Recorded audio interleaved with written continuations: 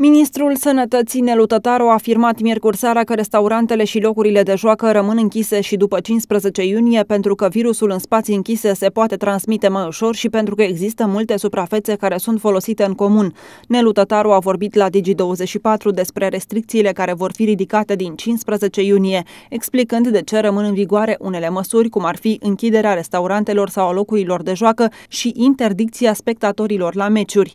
Sunt spații închise, încercăm o evaluare a spațiilor deschise în care nu avem elementul de aeroflor. Mai avem 15 zile în care putem vedea care sunt rezultatele, a afirmat Tătaru, întrebat de ce nu redeschid și restaurantele din 15 iunie.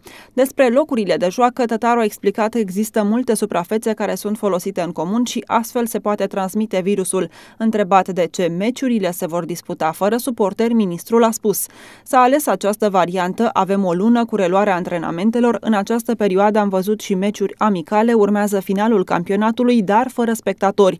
Bucuria unui gol și o galerie nu cred că pot păstra o distanțare socială. În urma discuțiilor avute cu ministrul sportului am ajuns la această concluzie. Noi am dat doar normele de aplicare în această competiție, a spus Tătaru. Ministrul Sănătății a afirmat în legătură cu reluarea slujbelor în interiorul bisericilor că nici acest lucru nu este luat în calcul de la 15 iunie.